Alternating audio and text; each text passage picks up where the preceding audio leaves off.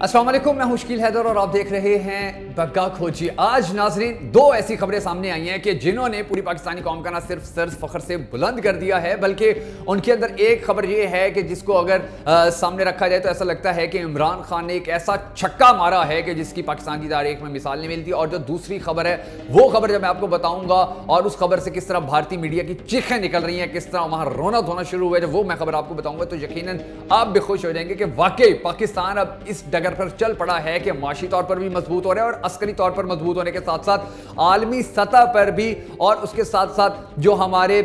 دوسرے سفارتی تعلقات ہیں، ان کو مضبوط کرنے میں کس طرح کامیاب ہے؟ تھوڑی کامیاب ہو رہا ہے، تھوڑے سے عداد و شمار میں آپ کو عداد و شمار بتاتا ہوں، جس کے بعد آپ کو بھی یقیناً خوشی ہوگی کہ الحمدللہ پاکستان اب صحیح ڈگر پر چل پڑا ہے اور اس کا سارا کریڈٹ وزیر اعظم عمران خان کو جاتا ہے۔ جولائی دو ہزار بیس اور دو ہزار مئی جولائی دو ہزار بیس سے دو مئی دو ہزار اکیس تک جو وزیر اعظم عمران خان ہے، جو پہلے دن جب انہوں نے حکومت میں آنے سے پہلے بھی اور حکومت میں جب آئے تھے پہلے دن، تو انہوں نے اس وقت بھی وعدہ کیا تھا کہ میں زیادہ سے زیادہ ٹیکس کلیکٹ کروں گا تاکہ اس کی ذریعے میں پاکستان کے قرضے اتاروں، پاکستان کی معیشت کو بہتر کروں۔ تو اب جو وزیر اعظم نے ٹویٹ بھی کی ہے اور اس حوالے سے جو خبریں سامنے آ رہی ہیں، وہ بڑی مثبت ہیں اور ان خبروں کو سننے کے بعد یقیناً پاکستانی قوم جو بڑی مطمئن ہو جائے گی۔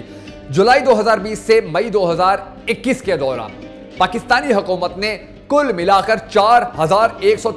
تیرتالیس ارب روپے کا جو ٹیکس ہے وہ کلیکٹ کیا ہے۔ اور سب سے جو مزے کی بات ہے ناظرین، یہ پچھلے سال کی یعنی کہ پچھلے ٹیکس کلیکشن کی نسبت اٹھارہ فیصد زیادہ ہے۔ دو ہزار انیس اور دو ہزار بیس میں تین ہزار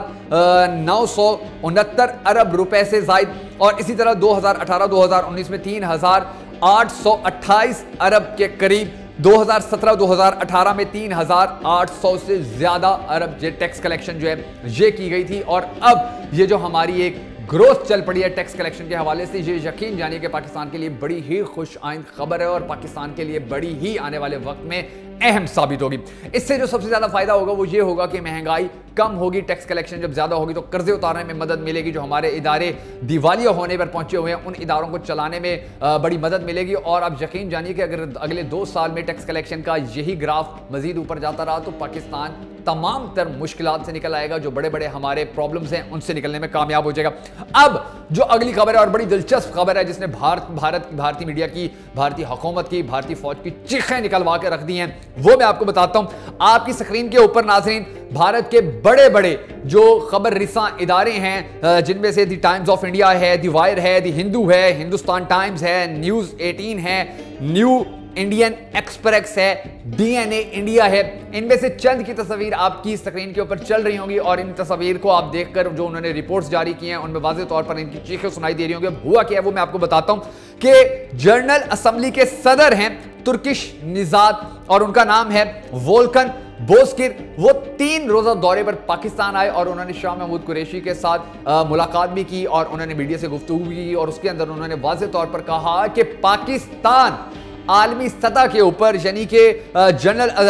جو جنرل اسمبلی ہے، اقوام متحدہ کی یا اس کے علاوہ جو اور پلیٹ فارمز ہیں، وہاں پر جو بھارت اور پاکستان کے درمیان مقبوضہ علاقے ہیں، ان کی آواز اٹھائے اور انہوں نے جو سب سے اچھی بات کی، جس کے بعد بھارتی میڈیا کی چیخیں نکلی ہیں، وہ یہ ہے کہ انہوں نے کہا ہے کہ پاکستان اور بھارت کے درمیان جو متنازع علاقے ہیں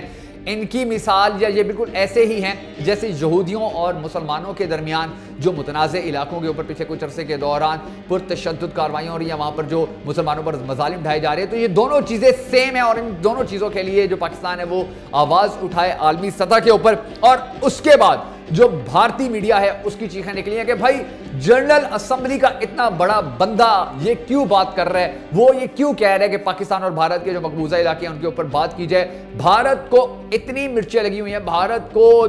بھارت کو، بھارت کے اندر اتنی چیخیں اٹھ رہی ہیں کہ جس کا حساب لگانا مشکل ہے۔ اور اس کی سب سے بڑی وجہ یہ ہے ناظرین کی جو بیان دیا یہ کسی چھوٹی شخصیت نے نہیں دیا، بلکہ یہ جنرل اسمبلی کے صدر ہیں۔ اور جنرل اسمبلی کا جو صدر ہوتا ہے، وہ پوری دنیا کے بڑے بڑے ممالک جو ہوتے ہیں، ان کی نہ صرف صرف بات سنتے ہیں، بلکہ اس حوالے سے اس کی جو اس کا جو پوائنٹ آف ویو ہوتا ہے، وہ بھی بڑا اہمیت کا حامل ہوتا ہے۔ تو یہ پاکستان کی ایک بہت بڑی سفارتی کامیابی ہے اور اس سفارتی کامیابی کے بعد انشاءاللہ ہم سب کو دعا کرنی ہے کہ جلد ہی جو بھارت اور پاکستان کے درمیان مقبوضہ علاقے ہیں، وہ بھی نہ صرف آزاد ہو جائے، بلکہ جو یہودی طویل عرصے سے مسلمانوں پر ظلم کر رہے ہیں، اس ظلم کی جو تاریخ رات ہے، اس کا بھی جلد از جلد خاتمہ ہو اگر آپ بھی اس دعا میں شامل ہونا چاہیں تو کمنٹ باکس میں، آمین۔ ضرور لکھ دیجیے گا۔